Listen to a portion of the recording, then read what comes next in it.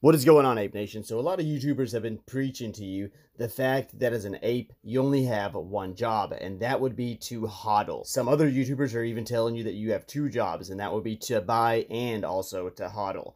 But in this video, I'm going to add to that load a little bit, so I hope you don't mind. But I'll be telling you about a third task that is very important to the ape movement. And of course, there is no intro on this channel. We're going to get right to it. But before we do, I just want to ask that you go ahead and smash that like button so the YouTube algorithm gets this out to every single ape, just like me and you. And of course, if you are new here, go ahead and hit that subscribe button because we do want you to join our growing ape family and you'll get access to videos just like this one every single day. And definitely make sure you hit that notification bell if you do decide to subscribe because that's the only way to ensure that you'll never miss an upload.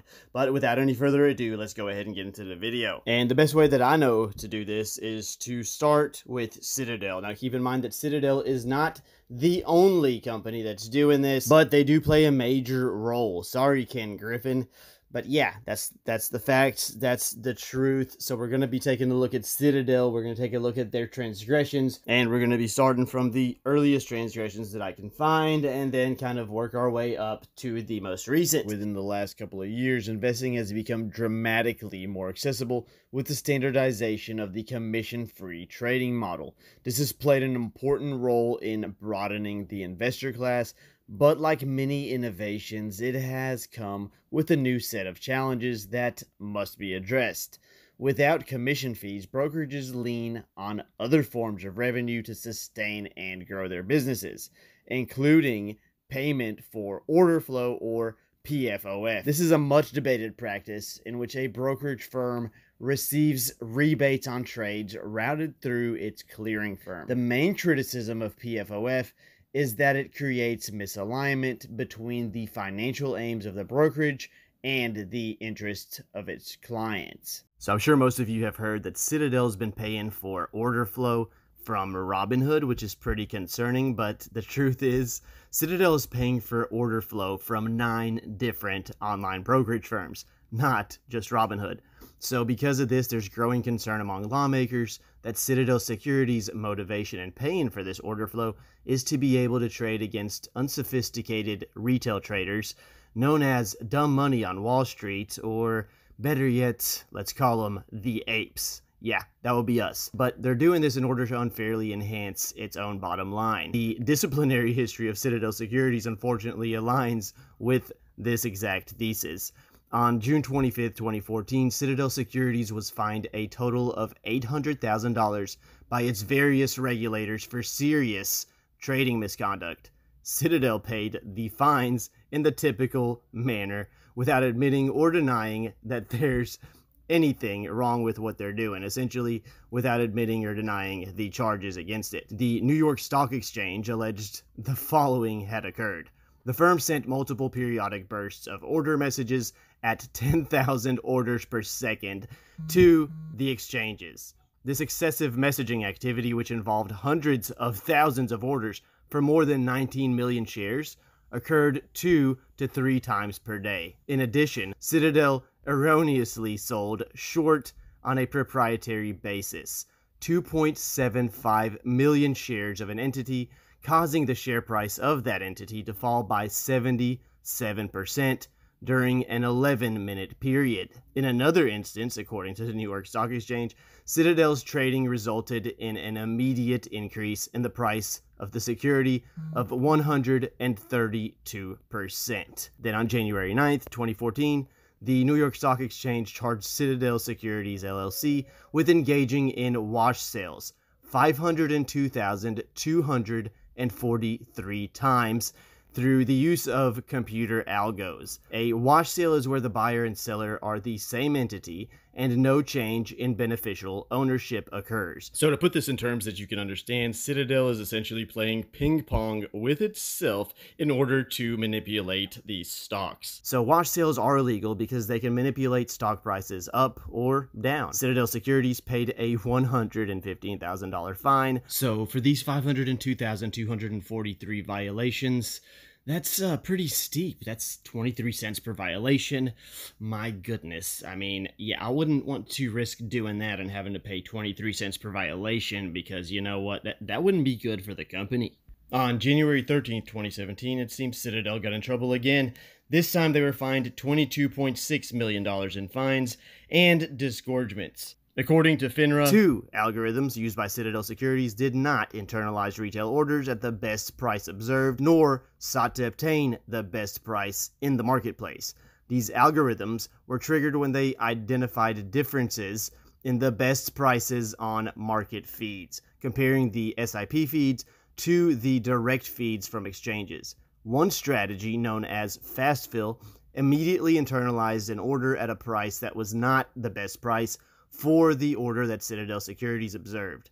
The other strategy, known as Smart Provide, routed an order to the market that was not priced to obtain immediately the best mm-hmm. price that Citadel Securities observed. More recently, on July 16, 2020, Citadel Securities agreed to a $700,000 fine by Wall Street's self regulator FINRA for executing customer orders at prices worse than it traded for its own account.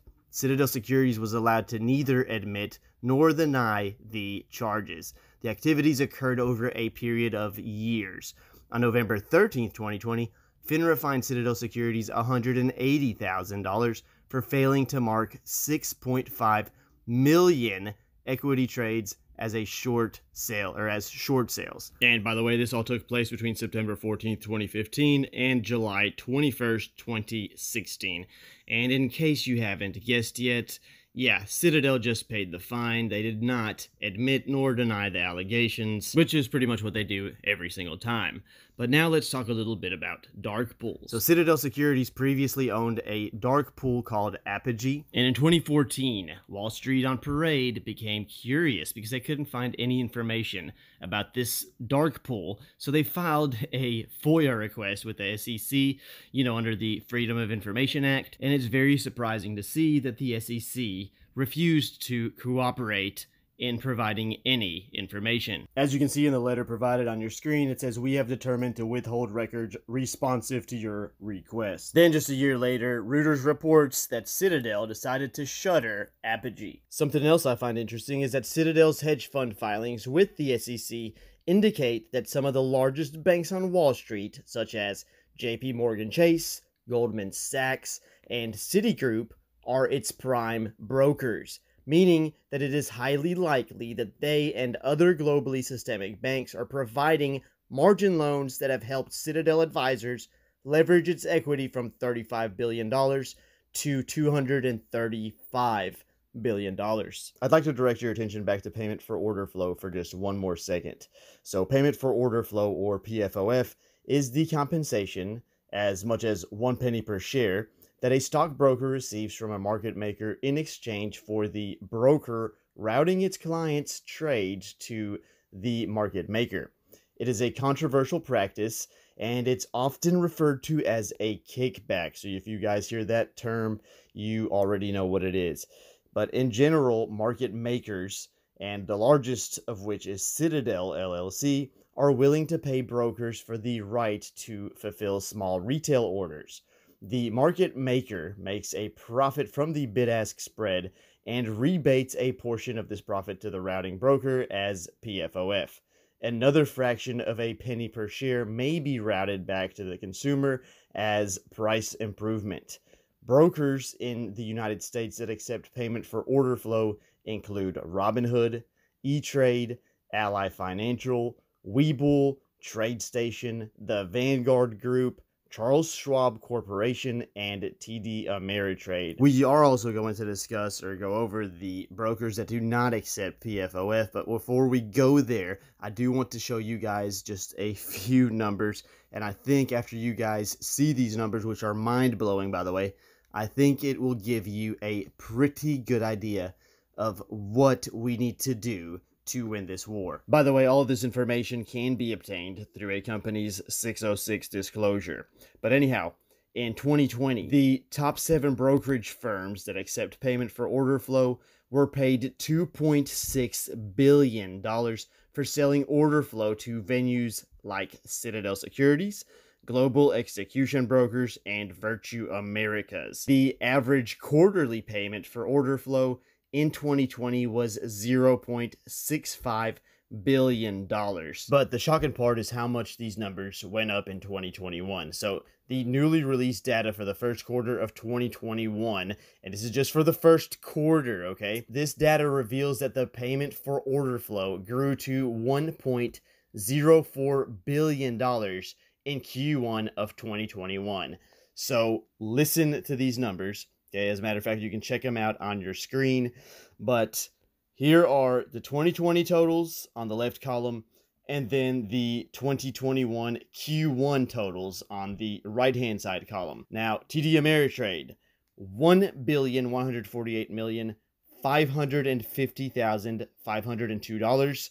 That was the 2020 total compared to the 2021 Q1 total, which is four hundred and twenty-eight million $923,484. Next up, we have Robinhood. The 2020 total was $687,094,992.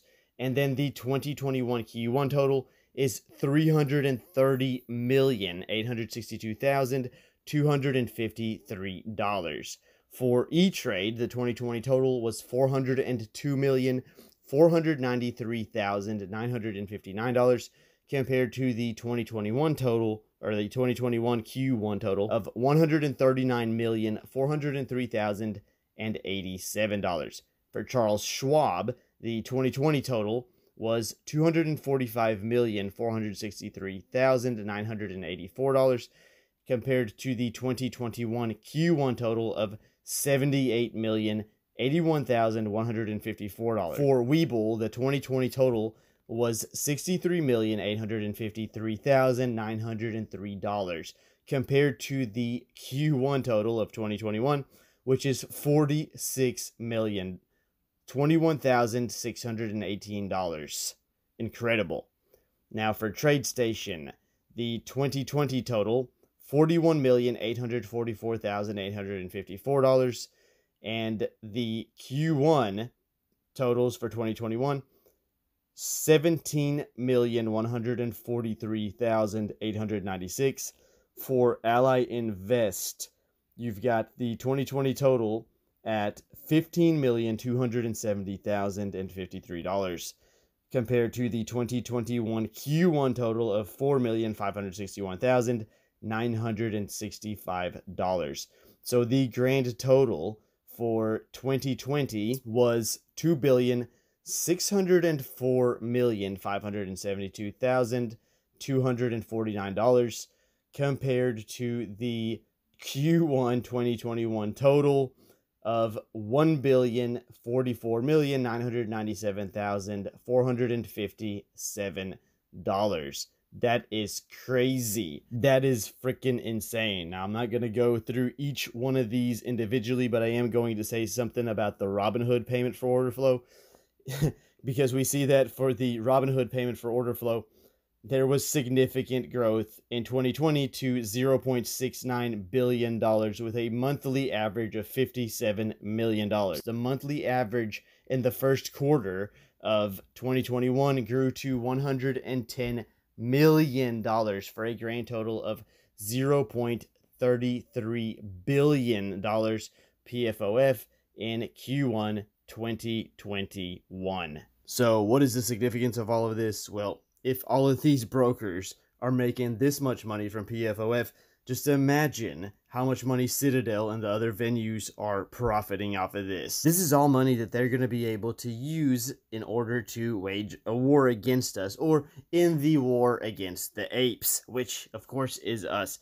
So what are we going to do about it? Well, earlier in this video, I told you that we would be talking about the brokerages that do not accept PFOF or payment for order flow. Now, before I get into that, let me explain something very quickly. I know that a lot of you guys, especially a lot of my subscribers, like to use Webull. A lot of you guys are there. If you're just using these brokers because of some of the tools that they have on their platform, maybe the charts, like for example, I like using Webull for the charts and tools that they have on my mobile device because a lot of times I am away from my laptop or computer. So if you're just doing that, there's nothing wrong with that. That's perfectly okay. Where we have a problem is if you are buying or selling stocks or options on those platforms. That's where Kenny or Ken Griffin makes his money. But now let's get to the platforms that you can use that do not help out Ken Griffin. So the first one being Interactive Brokers, the second Merrill Edge,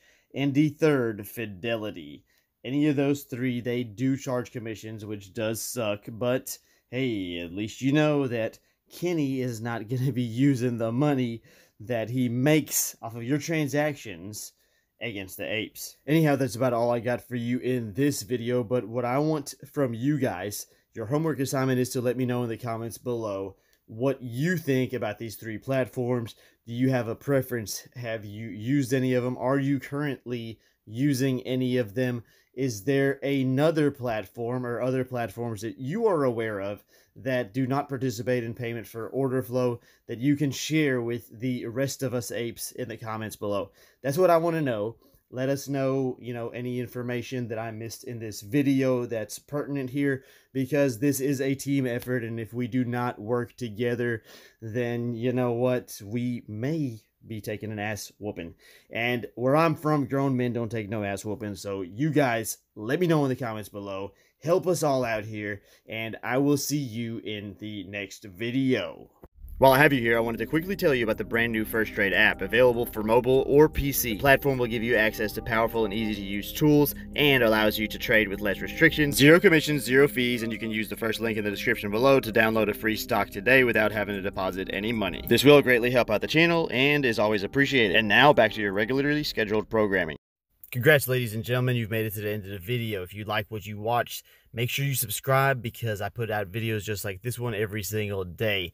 And please do me a favor and smash that like button if I helped you in any way because it really goes a long way in helping the channel out and keeps me motivated to make videos every single day. Now there's a lot of work involved, a lot of research, and a lot of time and effort into editing and putting these out daily for you guys. You can subscribe from your screen right now or if you want to watch one of my other videos, I'm sure YouTube has some good content picked out for you on the left-hand side of your screen now. Thanks for sticking it out with me till the end, and I will see you guys in the next video.